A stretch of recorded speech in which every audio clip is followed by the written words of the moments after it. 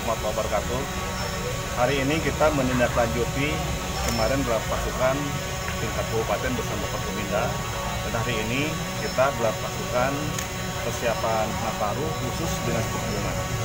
Saya tekankan tadi dalam apel bahwa salah satu yang paling penting adalah menjaga agar COVID-19 di Cianjur tidak muncul lagi yaitu salah satunya mengamankan lalu lintas, mengamankan masyarakat bersama TNI Polri untuk tetap melakukan protokol kesehatan. Intinya itu. Untuk pengecekan kendaraan tadi saya terus terang prihatin bahwa kendaraan ini umurnya sudah pada tua ya